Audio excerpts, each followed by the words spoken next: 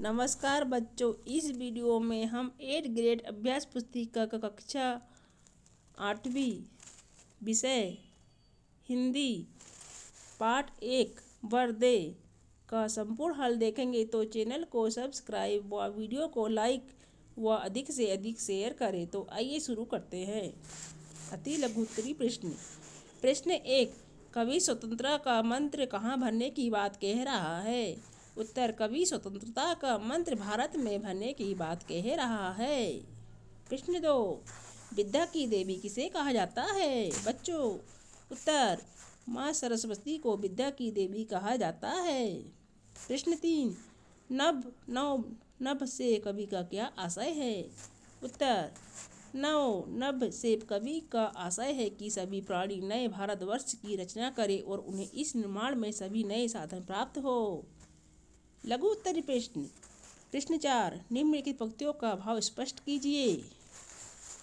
काट, अंध, उर के बंधन, स्तर बहाजननी ज्योति, मर, निर्झर से भेद, तम हर प्रकाश भर जगमग जग कर दे। उत्तर, हे माँ, मनुष्य मात्र के हृदय में जो अज्ञान के बंधन स्तर है, उन्हें काट दे और उनके हृदयों में ज्ञान की ज्योति रूपी झरना भर, था भर दे।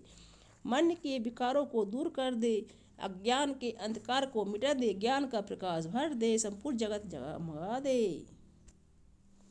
प्रश्न पाँच, नवजात शिशु के चरण कमल के समान सुंदर है। वाक्य में उपमेय, उपमान, साधारण धर्म एवं वाचन शब्द छाड़कर लिखिए। उत्तर, उपमेय, चरण, उपमान, कमल, साधारण धर्म, सुंदर, वाचक शब्द, समान। प्रश्न छः अज्ञान के तीन पर्यायवाची शब्द लिखकर उन्हें वाक्यों में प्रयोग कीजिए।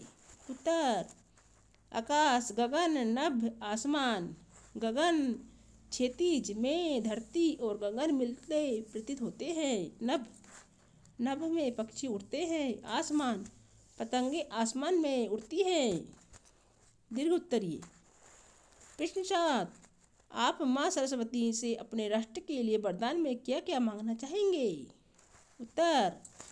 संपूर्ण भारतवर्ष में स्वतंत्रता की नई भावना का अमर मंत्र भर जाए। प्रत्येक व्यक्ति का हृदय से अज्ञान का अंधकार दूर हो जाए तथा सर्वज्ञ ज्ञान की ज्योति का झरना बहने लगे। मन के विकार दूर हो जाए तथा समस्त संसार ज्ञान के प्रकाश से जगमगा उठे। मूल्यांकन एक, अति लघु उत्तरी प्रश्न। प्रश्न आठ, वर दे। कविता में बीड़ा वादिनी किसे कहा गया?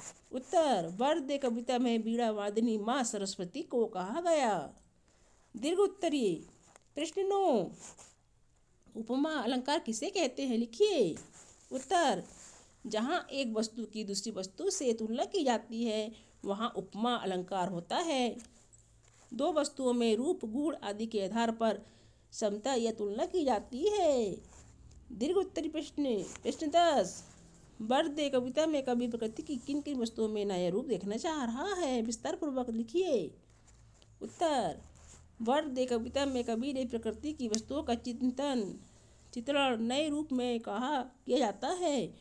वे चाहते हैं कि प्रकृति में कोई भी वस्तु अपने पुराने स्वरूप में ना बनी रहे। वे चाहते हैं कि वहाँ मधुरता हो, भावुकता हो, सजीवता हो, प्रकृति प्रकृति प्रत्येक बदले हुए स्वरूप में प्रेम और सौंदर्य का उपदेश देती है। बच्चों, इसको अधिक से अधिक सब्सक्राइब कीजिए और लाइक्स अधिक से अधिक शेयर कीजिए।